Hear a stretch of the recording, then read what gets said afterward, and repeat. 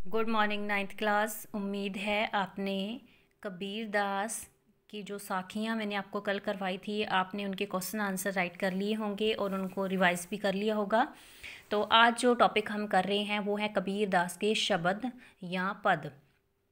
तो ये दो पद हैं उनके, जिसमें उन्होंने एक में तो बताया गया है कि परमात्मा का निवास कहाँ होता है, ठीक है?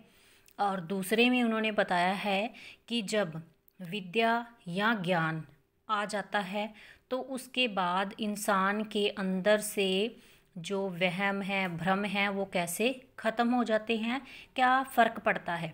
फ़र्स्ट में बताया कि परमात्मा कहाँ निवास करता है, दूसरा है कि जब परमात्मा मिलेगा हमें, परमात्मा कैसे मिलेगा? ज्ञान के द्वारा मिलेगा, ठीक है? तो जब हमें ज्ञान हो गया तो फिर कैसे हमारी जो मन की स्थिति है, उसमें कैसे परिवर्तन आएगा, वो इसमें बताया गया है, ठीक है? तो इसमें वो कह रहे हैं, मोको कहाँ ढूंढे बंदे? मैं तो तेरे पास में। अब बंदे किसको कहा गया है? इंसान को, मोको, मुझे ढूंढे, ढूंढना। तो इसमें अब परमात्मा संबोधित होकर कह रहे हैं, एक इंसान को, कहते कि, मुझे कहाँ ढूंढ रहे हो? मैं तो तेरे पास में ही हूँ। ना मैं देवल, ना मैं मस्जिद, ना काबे कैलाश में। अब इसमें देवल का मतलब है देवालय या मंदिर। मस्जिद का मतलब आपको पता ही है कि धार्मिक स्थान है मुस्लिम लोगों का।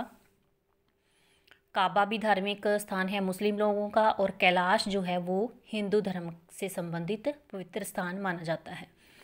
तो अब कवि इसमें कवि परमात्मा संबोधित होकर कह रहा है, कवि के रूप में कहता है कि ना तो मैं मंदिर में हूँ, ना ही मैं मस्जिद में हूँ, ना ही मैं किसी काबे में हूँ और ना ही मेरा निवास किसी कैलाश पर्वत पर है।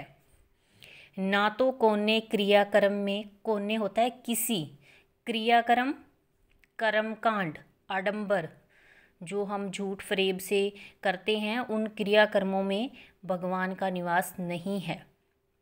नहीं योग बैराग में। योग योग साधना करते थे। कई साधु अब भी करते हैं वो कि उल्टे लटक जाना या फिर अपने शरीर को बहुत ज़्यादा कष्ट देते हैं वो लोग। जटाओं को वृक्षों से बाँध लेते हैं और सिर के बल खड़े रहते हैं या फिर चारों तरफ़ आग तपा करके अपने शरीर को उसमें तपाते हैं। तो इस कहते ऐसे योग अभ्यास से मैं प्राप्त नहीं होता हूँ, मैं उसमें नहीं हूँ। बैराग होता है, घर बार त्याग कर जब जो लोग वैरागी हो जाते हैं, घर से निकल जाते हैं, मांग कर खाते हैं या फिर अपने शरीर को भूखा रखकर तपस्या करते हैं। तो कहते कि ना तो मैं किसी कर्म कांड में हूँ, ना ही किसी योग में हूँ, ना ही वैरागी होने पर मैं प्राप्त होता हूँ। खोजी होए तो तुरत मिली हो। खोजी मतलब अगर तुम्हारे अंदर मुझे पाने की जिज्ञासा पैदा हो चुकी है तो तुरत मैंने तुरंत, उसी समय, बहुत जल्दी तो कहते मैं कुछ ही समय में तुम्हें मिल जाऊँगा। पल भर की तलाश में। कहते, फिर तो समय बिल्कुल कम लगेगा।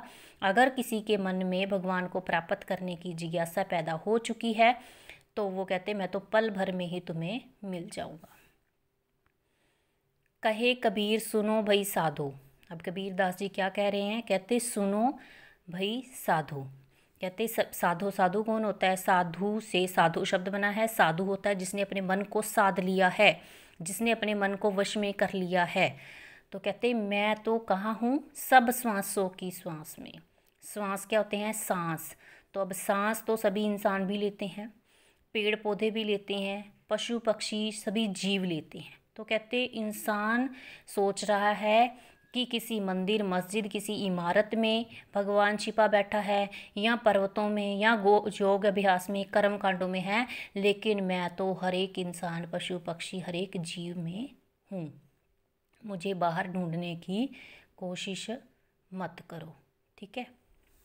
उसके बाद है सेकंड संतो भाई आई ज्ञान की आंधीरे अब संतों को, संत कौन होते हैं? संत भी जो है, एक धार्मिक वर्ड है है ना? जो धर्म, धार्मिक लोग होते हैं, उनके साथ जुड़ा हुआ है ये, जिन्होंने अपने मन में, जिनके पास सत्य है, जिनके मन में सच्चाई है, उनको संत कहा जाता है। तो कहते हैं, संत भाइयों, क्या हुआ है? ज्ञान की आंधी आ चुकी है। ज्ञान की मतलब ज्ञान रूपी प्रकाश, विद्या रूपी प्रकाश आ चुका है, अंधेरा मिट चुका है, अज्ञान का अब हवा आती है तो परिस्थिति वैसी की वैसी रहती है, उसमें ज़्यादा कोई फेर बदल नहीं होते। लेकिन जब आंधी आती है तो हमें पता है कि एक जगह से वस्तुएँ उड़कर दूसरी जगह पर पहुँच सकती हैं बड़े बड़े पेड़ उखड़ सकती हैं। मतलब बहुत ज़्यादा प्रलय आ जाती है, परिस्थितियाँ चेंज हो जाती हैं एकदम से।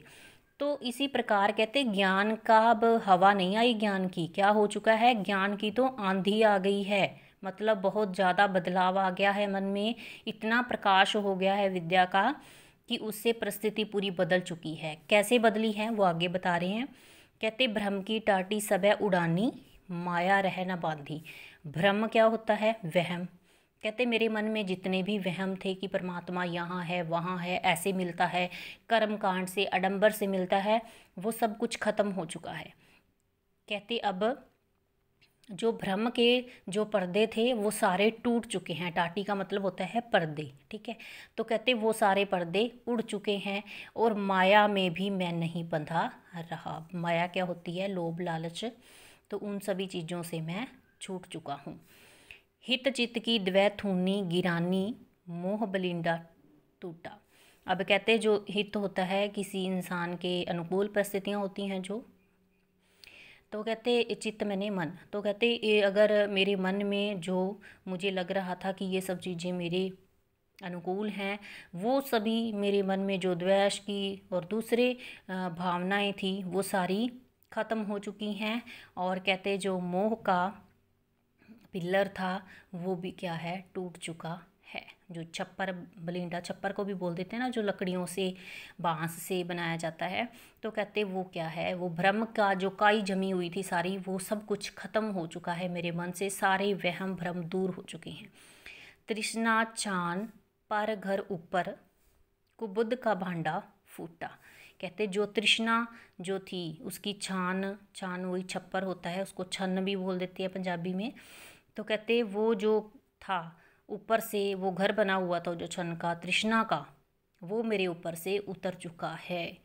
मतलब मुझे ज्ञान हो चुका है कि इन चीज़ों में, तृष्णा में, लोभ में, लालच में, मोह में कुछ नहीं रखा। कुबुद्ध का भांडा फूटा, कहते कुबुद्ध होती है बुरी बुद्धि।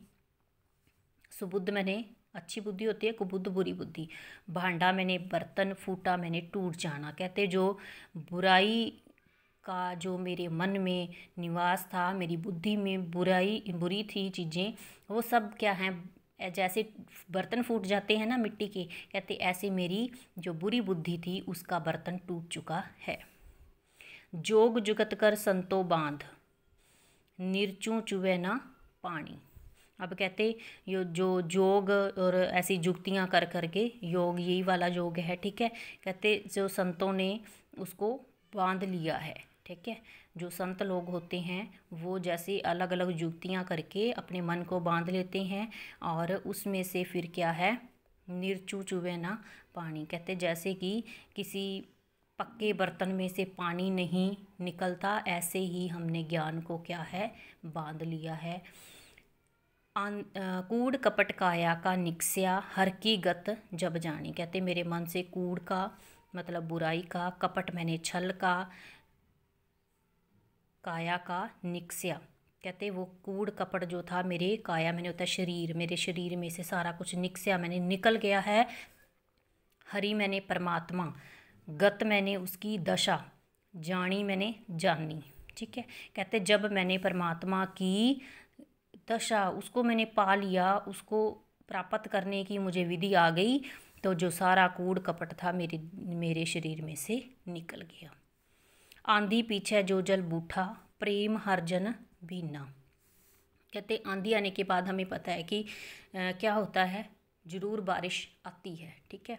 तो कहते अंधेरी आने के बाद जो जल आया उसने क्या किया? वो सारा कूड़ कपट जो मेरे मन में बुराइयाँ द्वेष बुरी भावनाएँ थी सारी बहाकर वो ले गई और मैं क्या हुआ? परमात्मा के प्रेम में भीग गया। कहे कबीर भान के प्रगटे उदित भयातम खीना। कहते इस प्रकार कबीर दास जी कह रहे हैं। कहते कि जैसे सूरज आता है तो रोशनी फैल जाती है चारों तरफ़। इसी प्रकार ज्ञान का प्रकाश मेरे हृदय में इस प्रकार आया कि मेरी सारी बुराइयाँ सब कुछ समाप्त हो गया और फिर क्या हुआ? सारा अंधेरा दूर हो गया। जैसे सूर्य आने पर रोशनी फैल जाती है, ऐसे ही परमात्मा का ज्ञान जब हमें हो जाता है तो सारे अंधेरे अज्ञान के ख़त्म हो जाते हैं और ज्ञान की रोशनी आ जाती है हृदय में। तो इसके क्वेश्चन आंसर मैं आपको सेंड कर दूँगी। आपने उनको राइट करना है और साथ साथ रिवीजन भी करनी है, क्योंकि अब आपने एक बार जब रीड किए होते हैं चैप्टर तो आपको जल्दी से लर्न हो जाते हैं। इसलिए आपने साथ साथ रिवीजन ज़रूर करनी है इनकी। ठीक है? Okay students have a nice day